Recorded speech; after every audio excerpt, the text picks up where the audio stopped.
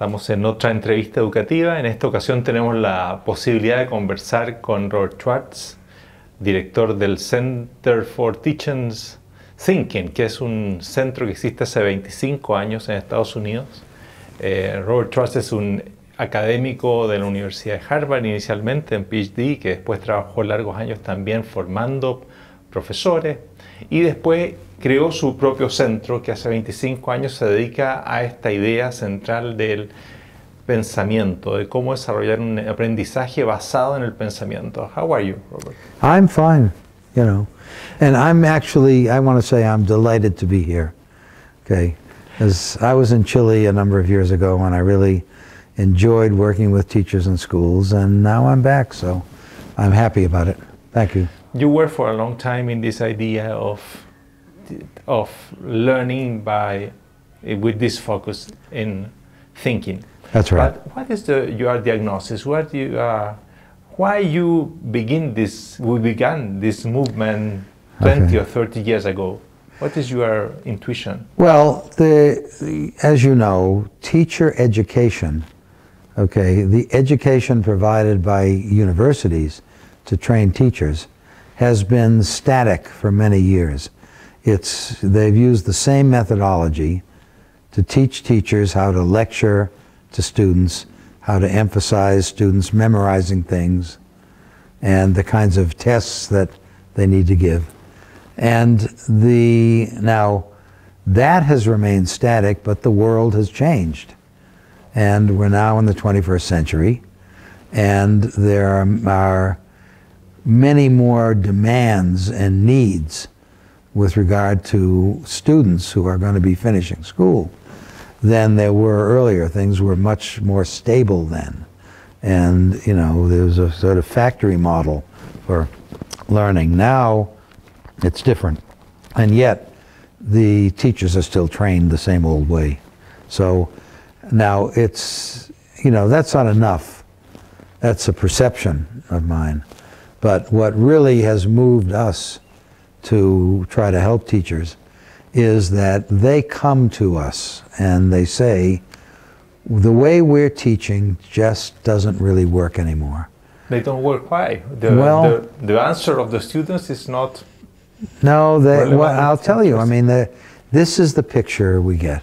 Mm-hmm. Okay, that they teach, they lecture, they teach students things that they they think students need to learn. Students make notes. They read their textbooks. They make notes.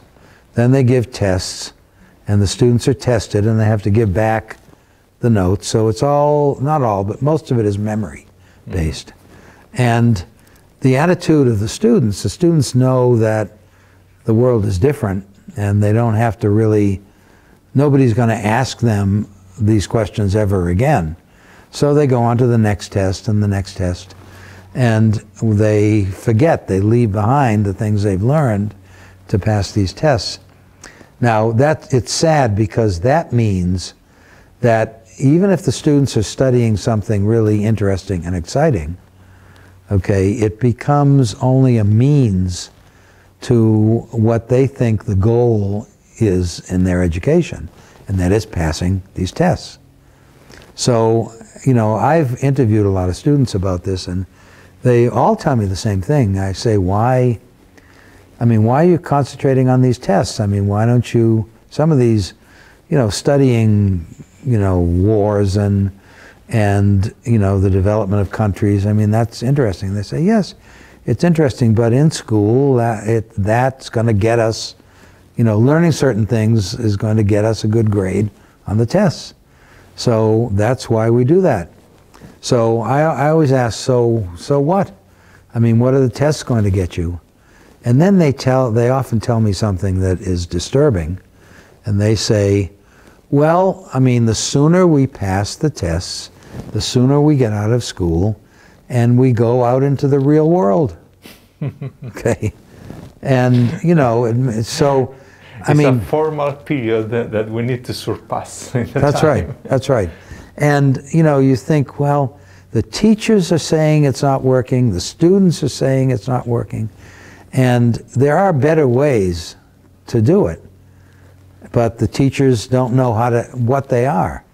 So, I mean, I happen to have, in my career, I got involved with a number of people who were working on new ways of teaching, and teaching thinking was the basis. My field is philosophy, so this critical thinking is throughout philosophy, and it isn't just teaching thinking, but what we know is that students being good thinkers, being able to think through a decision and make a good choice, that's something that's important in their lives, not just in school. And if they're not learning how to do that well in school, then they're not going to do it well in their lives. And if they don't, they make mistakes, they get into trouble. You know, sometimes there are disasters that result when you make a wrong choice.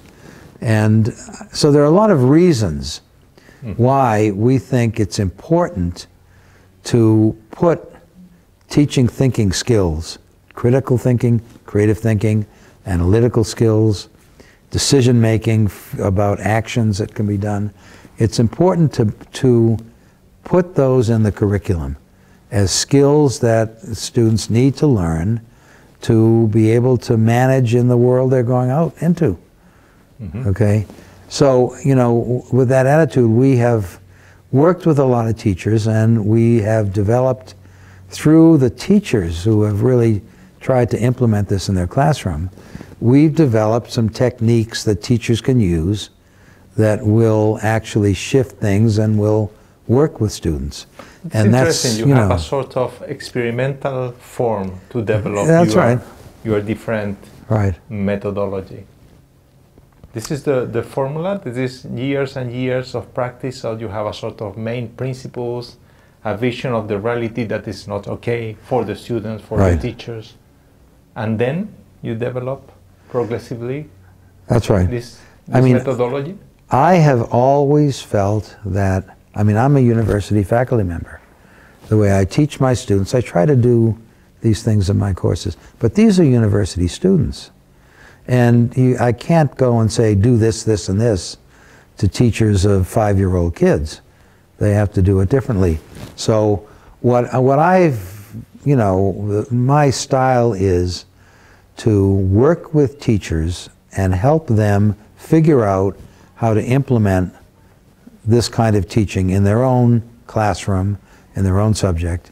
And then when they really do a good job, they have good lessons, I will show those to other teachers. And I will say, this is what this teacher did, you know, in a science class. See if you can do the same thing in teaching history or teaching mathematics. And they, and they all want to do it. They want to try it out because the original was a great success. Okay? So I've accumulated over the years a big repertoire of good examples of teachers teaching this way. And real examples. Yes, they're real uh-huh. examples. And, and what I found is that it's that, you know, I mean, I could talk theory to teachers and I could tell them, well, this theory of learning is this and this and this, but that doesn't have any impact on their, te- their teaching. That, that my feeling is if they, we get good lessons in which students are learning and we can really work on those and get them into their classrooms, then they're doing great things. And then out of those examples, we can help teachers understand how come these students are doing a better job with this. Okay, and, and my view is that it stimulates a different kind of learning from just memorizing. Mm-hmm. Okay, so, the, and that's been very exciting for me. I mean, frankly, more exciting than teaching my own university students mm-hmm. although I had to do that. And I tried, I mean, I always tell people that I've learned from some of the teachers I've worked with some things that I brought into my university classes for my own students. And they work. You know, so this has been a very rewarding process for me mm-hmm. as an individual. Um, but I, I mean, what really thrills me in all of this you know, I get older and older and older, and people say, you should really retire, you know, relax. You know, 25 years is a long time. Well, no, because my thrill is when I see students come alive, you know, when I see them, students who just sit around classrooms and do nothing, You know, they get challenged and, and in TBL. Teachers, you know, ask them, you know, important questions and get them thinking. And they come up with ideas, and other students come up with ideas, and there's a good sort of ferment and, and interaction. Well, that's exciting to me because the, the, the thing that gives me the most thrill, frankly, is that, of course, but when a teacher says to me, I never, ever thought my students could ever come up with any ideas like these. Okay? This is the maximum. That's fantastic. And that means that this teacher has realized that these kids have in them many, many more capabilities and talents and they're going to lie dormant if you just ask them to memorize things. Mm-hmm. Okay? But that we can bring them out and we can, you know, and students will learn how to do these things themselves and with other people so that their lives will be enriched. Mm-hmm. Okay? That's what I, I love. uh, a question that is important maybe is idea what is your definition of critical thinking? Okay. All right, well, I, you know, I don't like to try to define things because you get caught up in that and somebody has a different definition. But the way a colleague of mine um, from the, the, University of Illinois um, uh, characterizes critical thinking is something I like. He says that critical thinking is reasonable, reflective thinking, trying to decide what to believe and what to do. Okay? And I mean, to me, the, what's behind that is, of course, that we we want to believe things that are true. We don't want to believe things that are not true because we make mistakes that way. So how do we find out what's true? And the methodology of critical thinking is directed at helping students to do that. Mm. Okay? And reasonable reflective, well, what's that? Well, if you unpack that, that means students have to really they have to back up their ideas with evidence, with data, with good reasons. They can't just say, well, you know, the Russians are nasty people, okay? Mm-hmm. Because they're not. But, you know, if, if you say, well, why do you think that? Then we're going to be starting on the route to critically examining that idea, okay? Excellent. In, one of your books, you talk about this idea that the importance today for the for the, this generation of kids and adolescents and teenagers to develop the skills to distinguish uh, among the enormous yeah. uh, information that they receive what is true or well, not true. I mean, that has troubled me for a long time because you know, I think it's it's a wonderful advance for students to have iPhones and and tablets all the way down to little kids because they learn how to get thing information that would have taken them weeks to find if they just had to go go to libraries and places like that. So that's great. But the downside of that is that anybody can put anything they want on the internet and make it sound good. And unless you're discriminating, if you, you know, if you're lazy and you enter something on Google, it gives you a list of links and you press, press the first link there and then you get information and you copy it down and you bring it into school, well, you know, that may not be good information. You have to be careful. So what we stress is how to teach students to be able to make those judgments. Now, a teacher can do that. A teacher can say, don't go to that website, don't go to this website, because they're, you know, it's misinformation. And that's okay, except that when the students are out in the world on their own and there's no teacher around, well, what do they do? So teach them how to do that themselves. And that's not too hard. Do you ask students, well, I mean, what can you find out about this piece of information that can help you decide whether it's reasonable? What can you find out about the source of the information? And they always come back with, well, who wrote it and what do they know about? Let's find out about them and where did it appear and is this a tabloid newspaper that it appeared in or a research book or, or whatever. So they know the right questions to ask and the teacher can help them figure out how to get answers and then they can make a judgment. Is this likely to be a good piece of information? Well, yes, it is. Okay, the author was a distinguished historian. He's not going to make any money by having us believe it.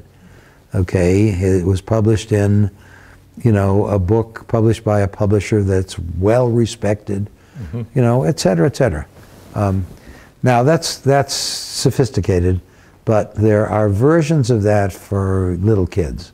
Mm-hmm. You start them thinking about that question. Search evidence. Absolutely, and you know, to ask. You get a piece of them. Ask, is this something I should believe? and let me try to find out. And let me try to find out these things about where the information came from, etc. Um, Other skill thinking that you talk about this idea of uh, to how to take decisions. Yes. How to bring more elements that's for right. students. How is your approach of that? How? Well, that's easy because everybody makes decisions all the time. And what I suggest to teachers is that they start by asking kids to you know, think about and describe a decision they've made that has been a good one, that worked. And they do, and they come back, and so that's a kind of positive start. And then describe one that you made that was not a good decision, okay? And let's try to figure out why it wasn't such a good decision. What might you have done that you didn't do that might have led to a different decision that you'd feel better about? Okay? So that we throw it back to the kids and what we found is that they know, I mean, they know what they need to find most of the time, and if not, the teacher can help them and add some things. Okay? So they come up with a strategy. They say, well, you know, I shouldn't just decide because I like it. I should think about what other possibilities are, what are the options, what are the competitors, and then try to find out information about each one. And what kind of information? Well, let's try to find out pros and cons. Mm-hmm. Okay? And then we can balance things. Then we can compare them and we can decide which one is the best one given that information.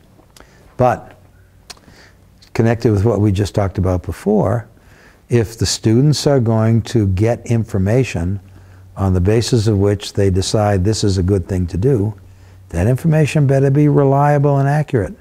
They better use that skill. That's why I think that's a tremendously important skill. If you start with misinformation and you can go through this whole process and say this is the best thing to do, you end up making a big mistake. Mm. So, other thing that you you try to develop is the idea of, of metacognition. Yes. Do you think that well, this maybe it seems a sort of very technical term, but you you introduce that in your in your practice too. That's right. That's right. Well, you know, metacognition is, is broad. It's as broad as thinking. There are lots of different ways of doing thinking and lots of metacognition is thinking about your thinking, standing above it and thinking about it. But you can do that in a lot of different ways. And the, the trick is to try to help students learn how to think about what they've done as they went through a thinking process and ask did it work? Can I do it better? Okay. So, I mean, we, we, there's a strategy that we use where the students describe what they did, and then the next question is, did it work? Did you get, did you achieve what you wanted to achieve with it? And sometimes they say, yes, it's great. Sometimes they say, no, I had trouble with this and I'm not sure, you know. And then the teacher will say, well, how can you change it, fix it so that when you do it, you feel more confident in using this technique. Well, to me, that's a great way to do something that human beings have been doing for thousands of years. Not about just thinking, but about things that they do. You know, you know, here I baked a chocolate cake. Whoa, hey, I put this in, did this and this and this, this. And now I've got the cake, and let me taste, oh, it tastes terrible. Well, what did I, I mean, I followed a recipe. What did I do? Mm-hmm. And did I do something wrong? And how can I change it to make it work better? Okay. You know, I, I remember, and I'll never forget actually, being in a, a woodworking class in school where the students were learning how to use tools to build, make things out of wood. And the, I watched one student, and it was the first time he used a saw, and he used it the wrong way. And I'm, you know, I'm not supposed to interfere with these things. Okay, and the teacher noticed it. And the, so the teacher didn't say you used it the wrong way. The teacher said, How did it work out? And he said, Well, it didn't work out very well. You know, so the teacher said, Well, what did you do? Well, I did this and this and this and this. Say, and what do you think? Was that, you know, did the things that you do really help you, or were some of them hard to do? And this student said, Well, you know, I got the piece of wood and I put it in the vise and I, you know, and, but I was having trouble with the saw. Okay. so the teacher said, Well, let's think about how you can avoid that. Okay. Well, that's what metacognition is uh, about your thinking. Okay. Excellent. You know. You, uh, one point that you are you, you argue about that that this kind of uh, learning by thinking is not relegated to a sort of a new subject in the curriculum. No, you no. try to introduce all That's in right. transversal for all the contents. That's right. It's like reading and writing. You shouldn't have reading and writing as a separate subject because students learn, they use reading and writing, you know, in a lot of subjects. And a lot of schools have reading and writing across the curriculum. Okay, well, thinking, of course, is the same. Okay, and different, you know, different thinking strategies that work well in one subject can work well in another subject. And students discover it, teachers discover it. What I like in a school is when teachers are not just working on their own, but they're working with other teachers and they're coordinating how they're helping students to learn. And if thinking is a major part of that, that's great because then one teacher is not repeating what the other teacher did, etc. Um, no, but it's interesting in your case that because with your center you work in so different countries Yeah. with so different curriculums, and in general your evaluation is the problem is not in the curriculum, Right. that is in the content of the curriculum, Right, right, right. but more in terms of the skill that they try to That's develop. right. That's exactly right. And I, you know, I, as I've said, I worked in Saudi Arabia. That's an entirely different culture, different religion. The content of the curriculum is different. Okay, but what what I've found, and it's not too difficult to figure this out without going there, is that if you have to make a decision in Saudi Arabia, it's a good idea to think about the consequences. Hmm. Okay, and that's a kind of universal, you know, and it cuts across different religions, ethnic groups, etc. So I've come to feel that these th- these thinking skills are really generic and they apply, you know, uh, in the same way to a lot of different cultures and contexts. Um, and that, that to me, that's very interesting. You know, it's not, you don't have to worry about the, you know, about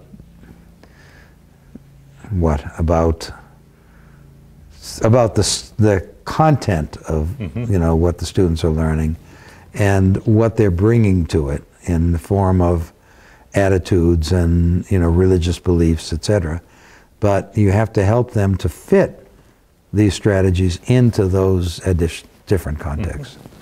Um, yes, finally the thing is the thinking. That's It's right. Thinking. Well, thank you, Robert For all this possibility to dialogue with you. And maybe the last question, that is the question that, well, you are advice for our country, for Chile. You Oh, I got well, advice for can be- Chile, boy, yes. What is your, your advice Yeah. for us in terms Well, of how I mean, to improve our education? I think this country, I mean, there's enough interest in thinking and teaching thinking and how you can help students be better thinkers. And, you know, and enough people realize how important it is that the Ministry of Education should explicitly endorse that learning th- thinking skills is up there at the top of priorities in the curriculum. Not to replace content, okay, but to, to be treated as key skills that students need to be able to learn in the best way they can learn. That's, and I think any Ministry of Education in any country needs to do that now. There's, there's enough data, there's enough research, enough experience to show that. Okay. So, Thank you. advice. Good advice. Bueno, tuvimos la ocasión hoy día de conversar con Robert Swartz de Estados Unidos, centrado en el aprendizaje en base al pensamiento. Y esta entrevista educativa, como muchas otras, está disponible en www.educarchile.cl. Los invitamos a seguir viéndolas.